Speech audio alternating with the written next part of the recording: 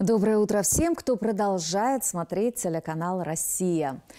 Сегодня последний день осени, но пока ни у кого нет зимнего настроения. Народная примета гласит, если сегодня хорошая погода, к хорошей зиме, плохая погода, естественно, к плохой зиме.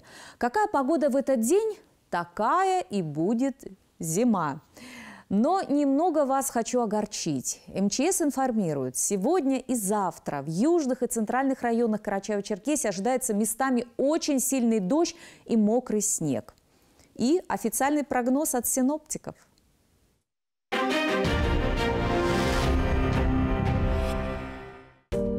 В Карачаево-Черкесии облачный дождь, ночью в горах с мокрым снегом, местами сильный, днем в центральных и южных районах очень сильные осадки, дождь и мокрый снег. Ветер западный 7-12 метров в секунду и порывы будут до 15-20, а в горах они будут достигать 27 метров в секунду. Температура ночью плюс 4-9, в горах минус 1 плюс 4, днем 9-14 со знаком плюс и местами до плюс 8. Черкеске облачно, ночью небольшой дождь, днем также будут осадки, ветер западный 7-12 метров в секунду. Температура ночью 6-8, а днем 11-13 выше нуля.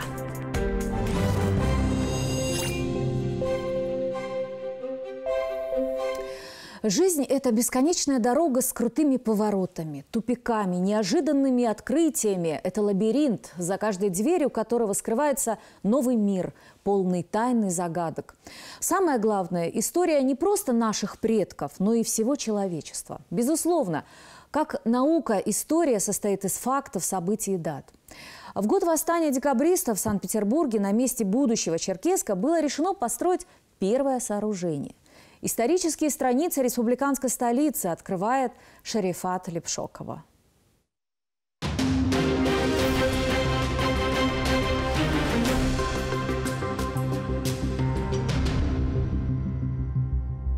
200 лет назад на месте этого сквера была пустошь. Первые поселенцы, а это были хоперские и кубанские казаки, появились здесь после 1825 года. А за 35 лет до основания станицы в этих местах была одержана победа над армией турецкого военачальника Батал-Паши. Редкий случай, когда новый населенный пункт был назван в честь побежденного.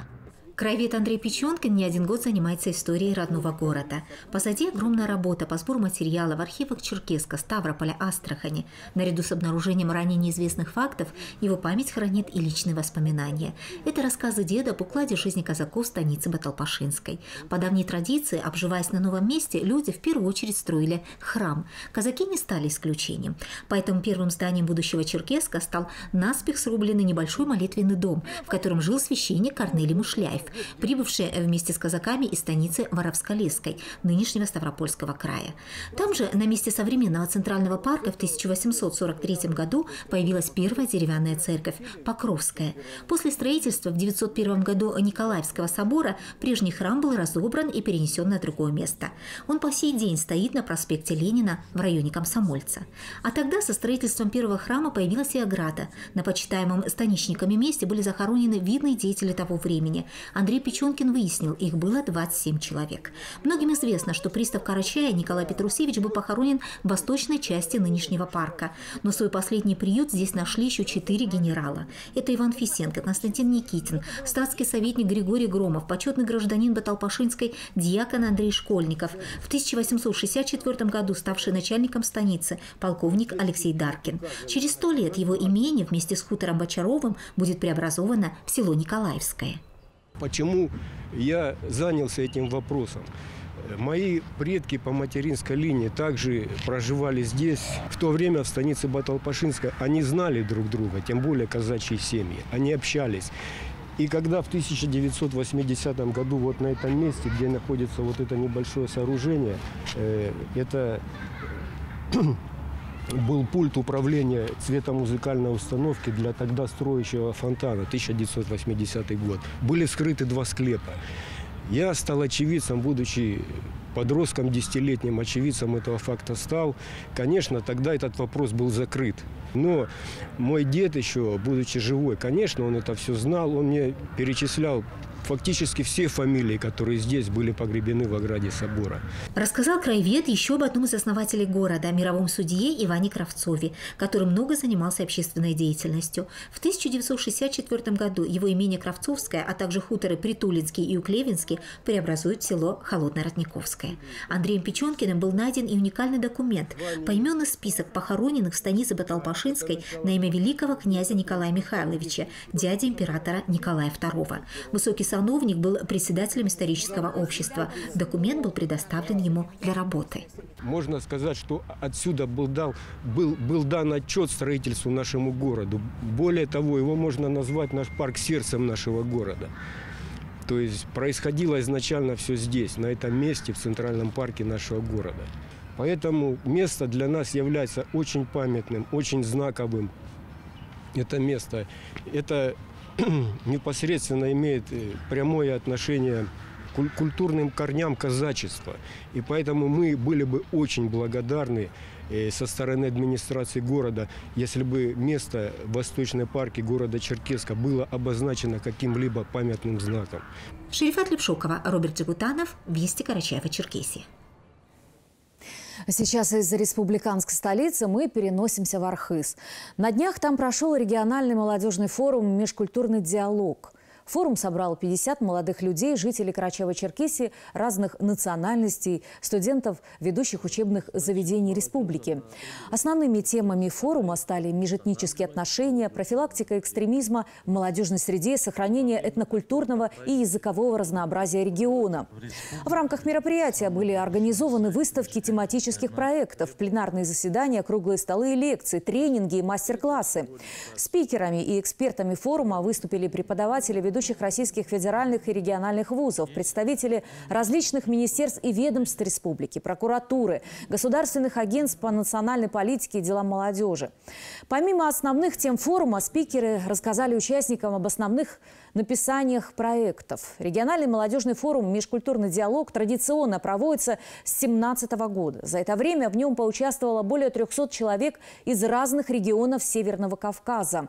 Мероприятие организовано Министерством Карачаева-Черкесии по делам национальности, массовым коммуникациям и печати в рамках реализации государственной программы «Реализация государственной национальной политики Российской Федерации». Именно ваше поколение очень ярко столкнулась с э, всеми э, сложностями выбора.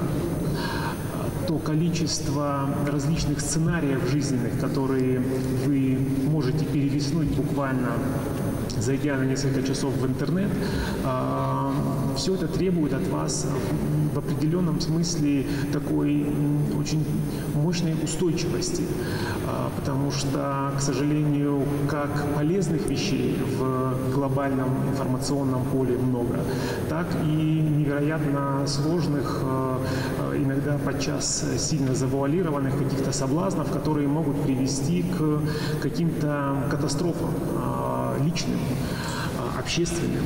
И вот именно сейчас, когда мы стоим каждый раз, а, выходя во внешнюю среду перед таким выбором, надо определиться с какими-то якорями, которые будут удерживать вас в верном русле, которое не навредит вам в будущем, вам, будущим поколениям.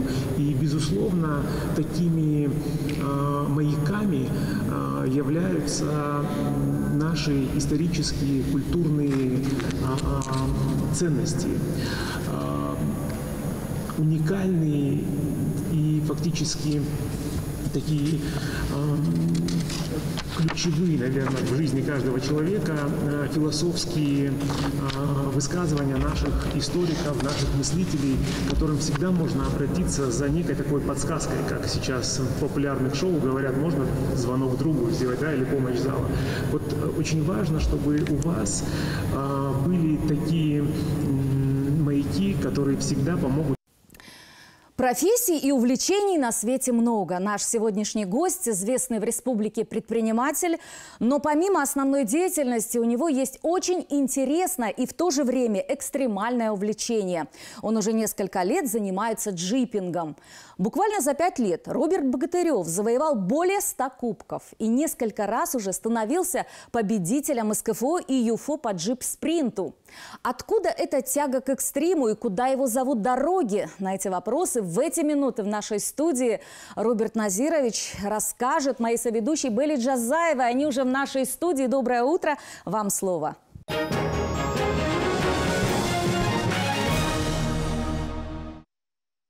Доброе утро всем. Доброе утро, Роберт Назирович. Доброе утро всем. Благодарю вас за то, что вы нашли время, пришли к нам в гости, тем более вы у нас впервые. А, повод у нас такой. Не ваше занятие бизнесом. А, хочу, значит, сказать о том, что а, вы предприниматель и а, даже в советские времена, наверное, уже вы этим увлекались, потому как закончили Ленинградский институт торговли имени Энгельса. Но сейчас, последние годы, вы почему-то э, э, ну, решили помочь своей профессиональной деятельностью каким-то э, увлечением, скажем так. А, а увлечение – это джипинг, чисто мужское такое увлечение. Причем на профессиональном уровне. Хочу сказать также о том, что э, буквально за 5-6 лет у вас более 100 кубков. Ну, я считаю, что это показатель, конечно. Скучно стало сидеть в офисе – цифры считать, подсчитывать? Ну, наверное, нет. Наверное, что-то проснулось другое. Ну, То, что в детстве и раньше возраст пришел же, и что раньше не было у нас в жизни, вот оно только начало развиваться с, с 15 года так на официальном уровне. Угу. Так вообще единичные случаи были с 2008 года. Угу. Но это кто-то как-то неофициально у себя устроит соревнования, угу. и туда наши подтягивались. Угу. Ну, я начал подтягиваться с 2014 года, а официально пошла тема уже с 2015 года, и вот то есть вы официально выступаете, профессионально, в да, команде, да? В команде КЧР, угу. клуба 4 на 4 угу. с 2015 года, кубки из КФО и кубки А сколько ЮФО. у нас клубов? Один? КЧР один, 4 на 4. Ну, кто вас привел? Как вот вас увлекли? Как вы об этом узнали? Ну, вот раньше председатель федерации у нас Лепшоков Батыр, один из начальных организаторов, кто это. Потом Бурлаков Ахмат, Казанлиев, Байрамкуловы. Вот они были родоначальники. Так сказать, я подтянулся к ним уже чуть позже. На каком транспорте осваиваете просторы Родины? УАЗик «Хантер». Но вы его как-то приспосабливаете под э, себя или что-то вот, вот покупаете этот УАЗик. Кстати, они продаются сейчас УАЗики? Ну, УАЗики продаются, да. Они современные? Они современные. Ну, это и Патриоты, и Хантера современные, которые, ну, типа под иномарку джип сделанные. Но все равно по асфальту они отстают от них, от иномарок, но по джипингу они могут им вполне составить конкуренцию.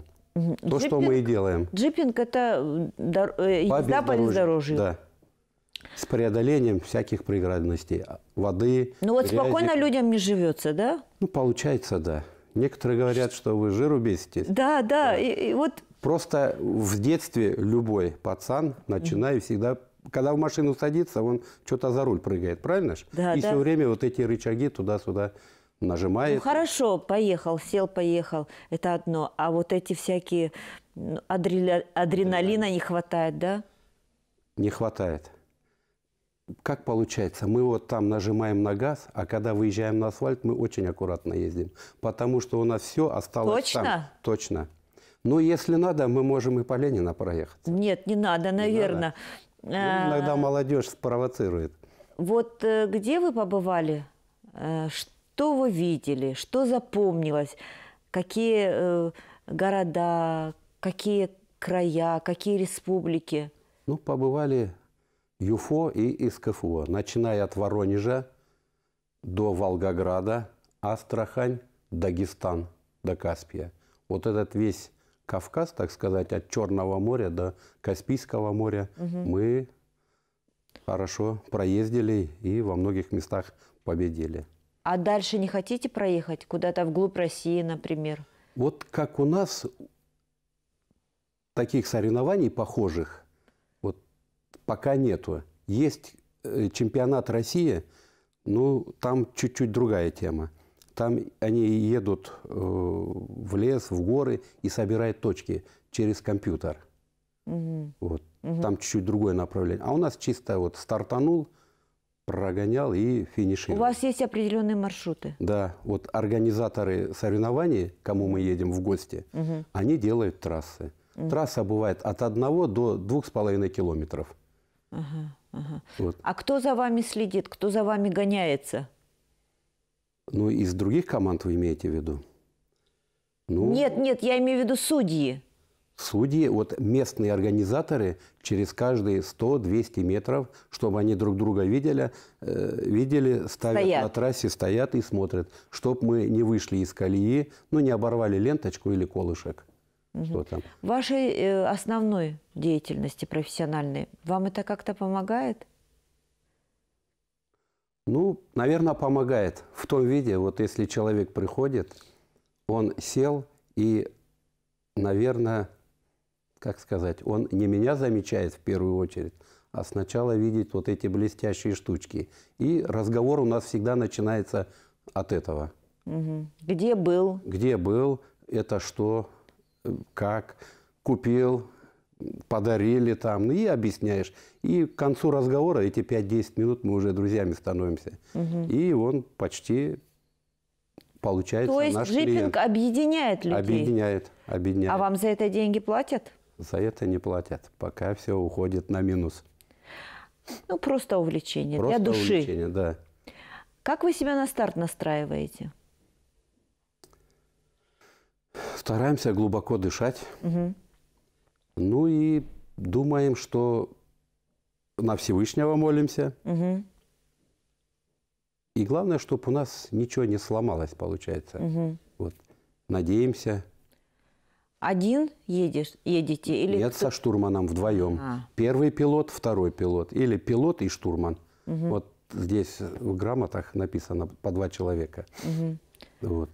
Он следит, он говорит там налево, там направо, тут прямо, можешь притопить. А какая вот э, самая максимальная скорость у вас? До 100. Мгм. Ну, просто там еще препятствия. Да, это по бездорожью. Это извилистые овраги, то все. Это Ужас. подбираешь. Ну, чтоб так сказать, на второй скорости выжимает он 90. Мгм. Вот. А на третьей, ну, уже по, по полю, 160. А четвертая, пятая мы и не пользуемся. А у вас есть какая-то мечта где-то проехаться? Допустим, пустыня какая-то где-то? Мечта есть. По пустыне Сахар бы на Дакар бы попробовали. Не знаю, что там получится, но я думаю, мы от них не отстали бы. Я нисколечко не сомневаюсь. Я желаю вам, конечно, осуществления вашей мечты. Спасибо. Попутного ветра. Спасибо, вам. Спасибо, спасибо вам. Всем крепкого здоровья Спасибо. и долгих лет жизни. Спасибо. Спасибо. Ты навсегда в ответе за тех, кого приручил. Эти слова маленького принца из произведения Антуана де Сен-Экзюпери стали девизом сегодняшнего дня. Сегодня во многих странах мира отмечается День домашних животных. Он посвящен всем одомашненным человеком животным и служит напоминанием всему человечеству об ответственности за братьев наших меньших. Существует ряд правил, которыми должен руководствоваться каждый, кто хочет завести или уже имеет домашнего любимца.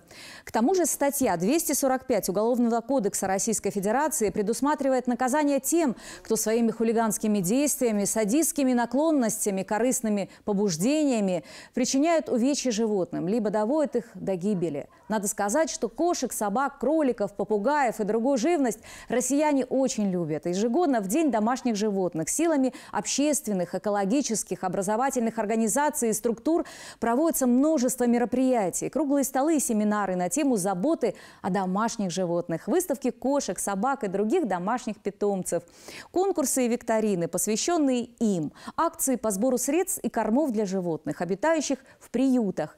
И сегодняшняя дата призывает всех присоединиться к этому доброму и важному празднику. С сентября месяца наши магазины запустили акцию добра. Мы решили помогать госпиталю «Белый клык», единственный госпиталь в нашей Карачаево-Черкесии, который лечит и поддерживает бездомных животных, которые попали в трудную ситуацию. 5% от покупки в наших магазинах идут на поддержку тяжело больных животных госпиталь «Белый клык». Далее телевизионный эфир на телеканале «Россия» продолжает программа о самом главном. А в 14.30 смотрите «Вести Карачаева-Черкесия». Всем хорошего дня и встретимся завтра.